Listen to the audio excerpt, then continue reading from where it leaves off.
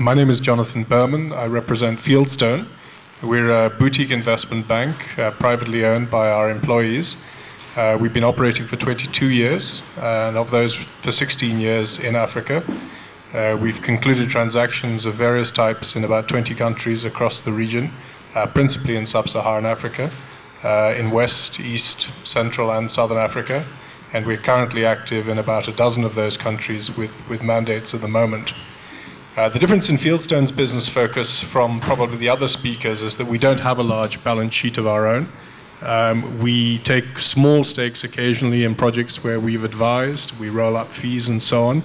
But our, our major interaction with institutional investors is either we are advising projects who are looking to talk to the likes of, of the investors here, um, or we are advising um, some of the private equity funds who are in the infrastructure space.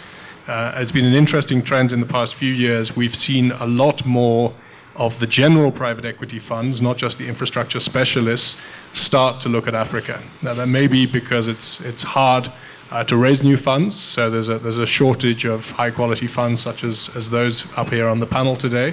Um, but it's been an interesting shift. Uh, we look at a very broad range of infrastructure from telecoms at one end down to the energy component leading into power generation at the other end. Um, and across that space, um, you know, with the, uh, particularly in the core infrastructure, um, there has been a, a, a, real shortage of, of high quality investors around. And it's interesting to see the environment growing, and I think that's a very positive sign for the continent. Um, Mr. Chair, since we've we finished our introductions, mm-hmm. can I can I make a first general comment, not Please. about uh, uh, my firm?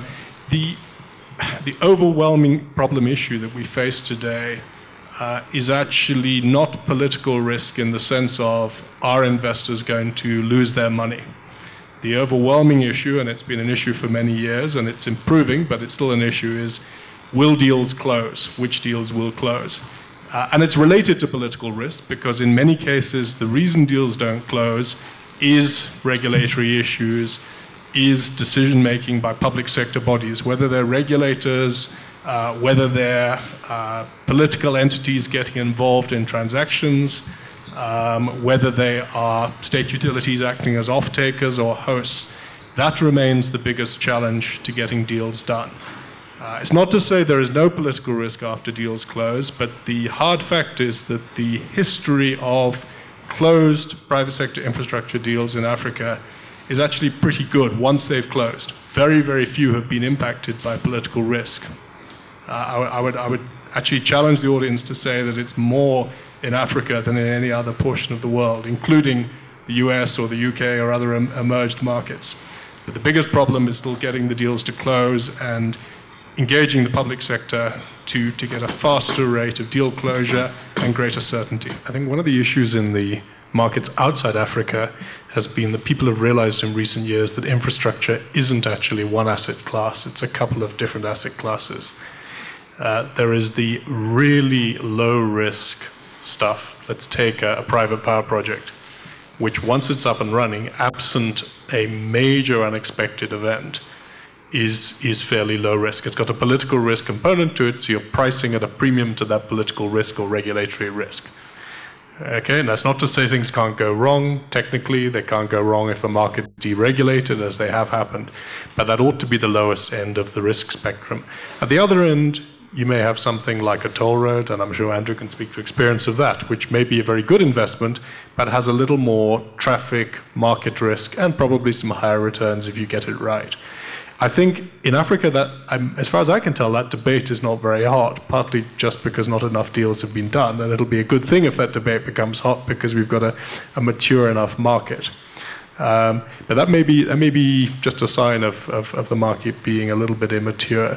I, I would like to see a few more of those very low risk deals being done by pension funds in this market. Um, I'd ask the other members of the panelists for some ideas as to how that's going to happen. But I think that would be a, a great place for them to start. If, if, if pension funds were to take direct risk in some of the higher risk end of the infrastructure spectrum and then get their fingers burnt, that could help to set the market back. Maybe I could just respond to the comment about um, public sector shareholder decision making and also lender decision making by telling you one little little story of a deal we worked on about a year ago. That was a good story, uh, and it's a project called the Morupule Colliery in Botswana. Now, people may say, is a colliery infrastructure? Uh, this one, to my mind, was because it's a it's a tied mine. It 95% of its output goes to the state-owned power station next door. It's not an export producer. It's not a market commodity producer. It sells at a fixed price in local currency. So it's, it's got a lot of the characteristics of an infrastructure project. Uh, Colliery raised 1.7 billion Botswana pula, about 300 million US dollars, in a total process from the appointment of advisors to financial close of 11 months. And the appointment of the banking group was much shorter, it was about eight months. Um, it was able to do that for two reasons. First of all, all of the lenders were local. So the decision making chains were shorter.